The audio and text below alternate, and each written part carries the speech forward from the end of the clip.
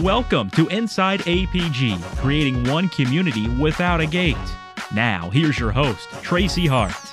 This is Tracy Hart with Inside APG, and I'm very honored to be sitting here with Charlie Rose, who is the director of the Maryland Youth Challenge Program, which runs the Free State Challenge Academy. Mr. Rose, thank you so much for being with me here today. Thank you very much. So, the Free State Challenge Academy is an amazing program that helps the youth of Maryland. Can you talk a little bit about what the program is involved? The program is a program that allows kids to get a second opportunity. It's geared towards kids who have disenrolled or dropped out of school between the ages of 16 and 18. They've either been expelled or they've just not been able to keep up or they've had other problems. They can come to Free State and get an opportunity to test for their GED, get an opportunity to learn self discipline, organization, and get a chance to change their lives around. And that's a big thing for the kids nowadays. They see opportunity within our program. Now, it's located on Aberdeen Proving Ground with the Edgewood campus. Now, the first question people are going to ask is Are you trying to get them ready for the military? No, not at all. We're trying to have an impact on their lives. They will have the opportunity once they graduate from the program, if they want to go into the military, they can. And we do have them as part of the selective service in the uh, age group. We do have them register. But the idea is for them to get an understanding of what they want to do in their lives. How can they accomplish that? Establish goals and then set the parameters so how they can they reach that goal. Where are they going to go with this? And they can identify what they want to do. We have kids who came here and said, I want to be a doctor. I want to be a doctor in the military. I want to be a Navy SEAL. Or I want to be a pediatrician. I want to be a law enforcement person. But the thing is, for the kids to understand, they need to be able to think about what they're doing here, why they're here, because it is a voluntary program. They need to understand how they can go from this program to the rest of their lives. Basically, it's a 22 week residential program and a 12 month post residential where we maintain contact with them. We will help them find jobs, we help them place in the community whether they go in the military or whether they go into college. Some will go back to get their high school diploma if they didn't take the GE test, or find a job within the community, and that could be almost any type of jobs. So we have a potential candidate who maybe had some problems with school, decided to drop out, looking to move forward with their lives. Can you talk about how the process is from the time they come into the program? What is the process that gets them to that the end of the 22 weeks? Sure. It all starts with an application process and an orientation. We provide an orientation that's about 2 hours long for the families and for the kids to show exactly what the program is like. Right now we're doing them here on campus at Edgewood, but this coming cycle we're going to be going out to different locations around the state to take the program to the kids and to the families around the state. Once they submit their application, they have everything squared away. We accept them, then we bring them in for what we call a two week acclimation period. Some kids may call it like a boot camp, being in a quasi military environment, but it's a two week program to get them acclimated to the program, what they're going to be doing for the next 20 weeks. It gives them a chance to change their mindset. We do a lot of PT, physical training. Kids will come here out of shape and by the time they go home, their parent will ask, Well, who are you and what have you done with my child? So they go through the two week acclimation period. At the end of that two week acclimation period, we'll have what's called a rites of passage, which is normally the one we did this recently was a 7.2 mile walk with seven stations intertwined within the, the distance. And at each station, they had to answer questions based on information that's located in their cadet handbook. They also had to do a series of exercises at the very end of a very long day, you see how the cadets have learned to work together. They help each other out at each station, whether it be through the questions or whether it be through the exercises, and then how they work together to get to the next station. Several kids have a, have a problem meeting that last mile and a half or so, but other kids will come out and help them get that last distance. So we're building teamwork and camaraderie at the same time.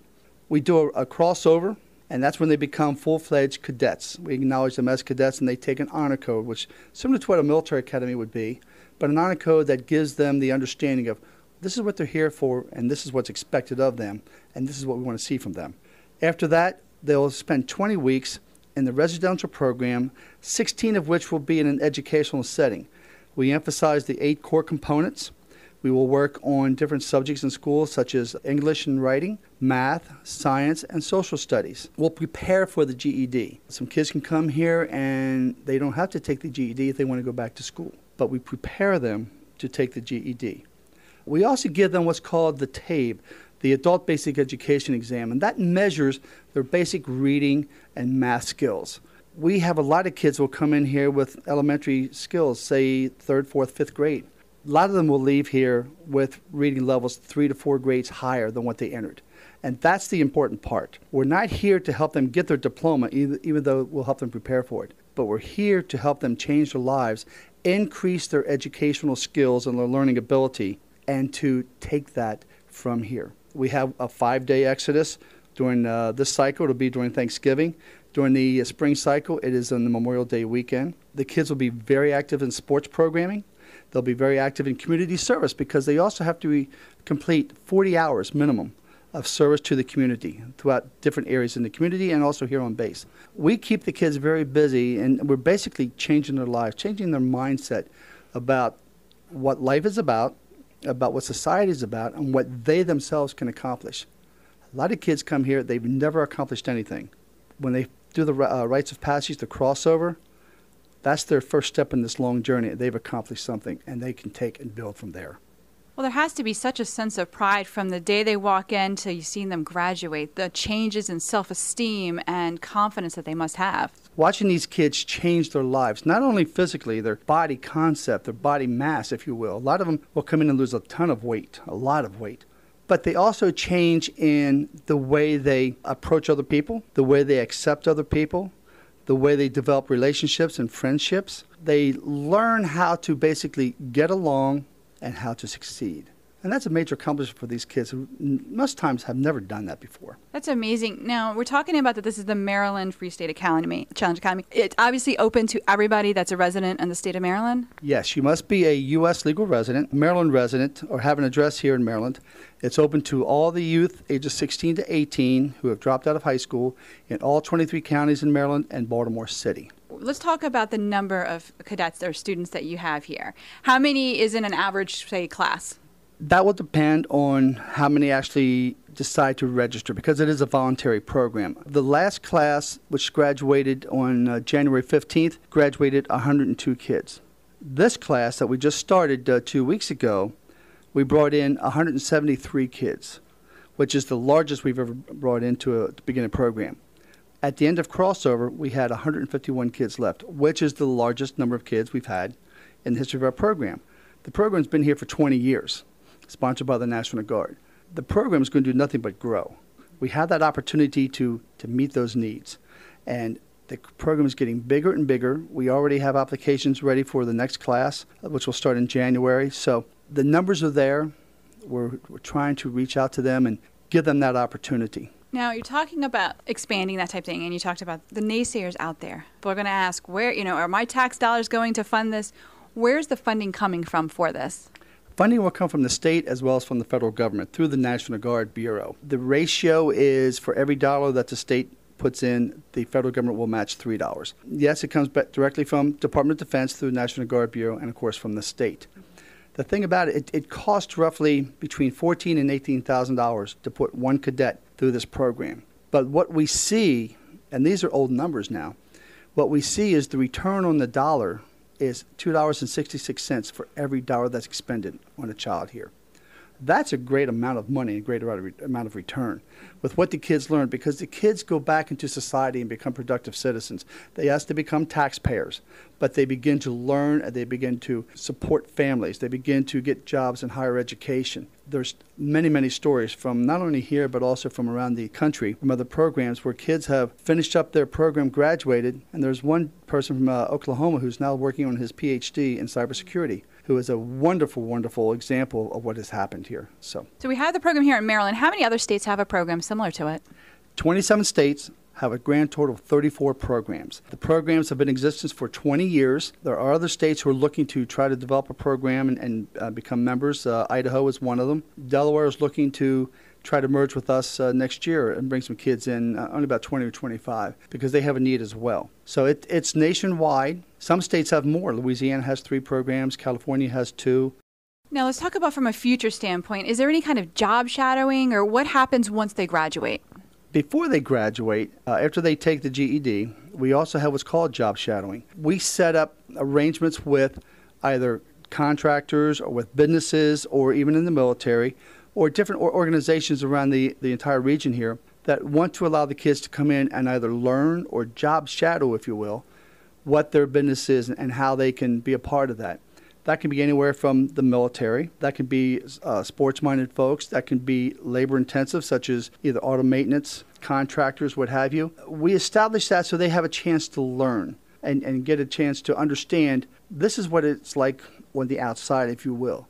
It's what it's like when they grow up and what they have to do to, to succeed in society. We even had some kids the last cycle went to do job shadowing in an elementary school here in the county. And each and every one of them came back saying they wanted to go back for more. They wanted to go back. And the kids in the class did not want them to leave. So we can see the benefit from the program. It allows the kids to be able to think and, and dream, if you will, but it gives them the opportunity to think exactly what they want to do and where they want to go. And that's half the battle right there with the self disciplining organization. Now, you have a unique program within the Free State Challenge Academy called Silver Wings. Yes. We are one of, I believe, two programs in the country that have a Silver Wings program. And that's a program where we teach the kids how to fly. We go to Martin State Airport. We have uh, some members of our staff, as well as members who are down at the uh, airport. They own a plane. They are uh, certified uh, FAA instructors, and they give a ground school and they give opportunity to fly over a period of four weeks. Every kid that's in it loves it. They get the opportunity to, to soar like eagles, if you will. And at the very end, this last cycle, the people who run that uh, Silver Wings program gave out three scholarships, if you will, to learn how to get their pilot's license. That's the entire ground school and the entire flight time. That value is well over $10,000 each. Mm-hmm. So the kids get an opportunity to see what else is there.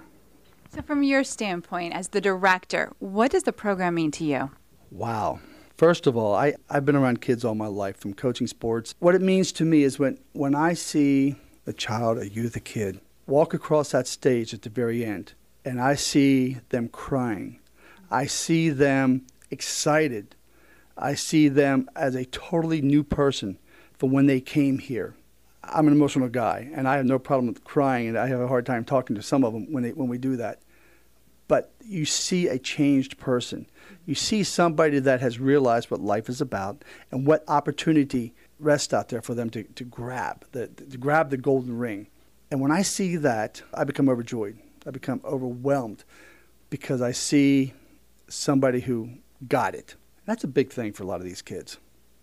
And I have to think at the end of the day, having people that believe in them, such as yourself and people here, the cadres of the program, having somebody believe in them and push them, you know, that probably means just as much to them as it means to you.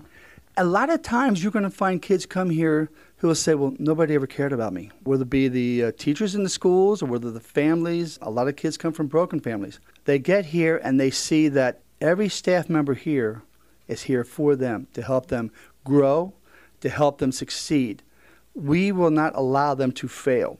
And as I told the kids in the crossover uh, ceremony the other day, I said, failure is not an option.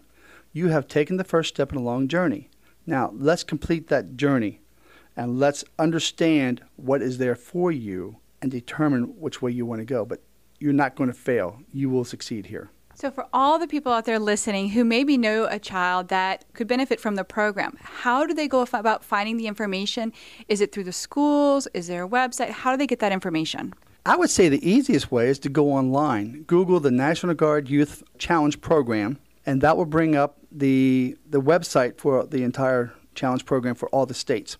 There will be a link on there where you can download the uh, states and just click on Maryland, and that'll bring up our program. We have the application there, gives you all the details about the program for the state of Maryland. If they have any other questions, they can always give us a call at 410 436 3331, and our secretary can direct them in the right place.